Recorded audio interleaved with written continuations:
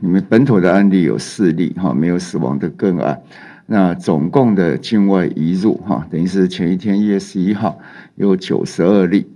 好有九十二例。那五十八例是昨天早哈，昨天早上到昨天半夜，好那几班的飞单应该七百八哈八班的航班好落地裁剪哈所检验出来的阳性，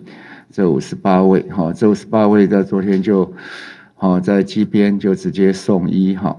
那三十四例是居家检疫裁剪，好，就等于那这两个数目单今天加起来会比较大，好，那接下来大概居家检疫裁剪的数目慢慢会降低，哈，那长期都自己裁剪，大概根据进来的人数，哈，会有一些上下的起伏，好，因为我们本来在计算，因为我们是在机场吐了口水，那回去一般报告，好，大概都一天到两天才会出来。好，所以今天这个数目会有一个是，好前天或是大前天的哈相关的一些数目哈，在这个居家检疫的里面，五十八例的一个哈的情况哈，大概是昨天这样子，实际哈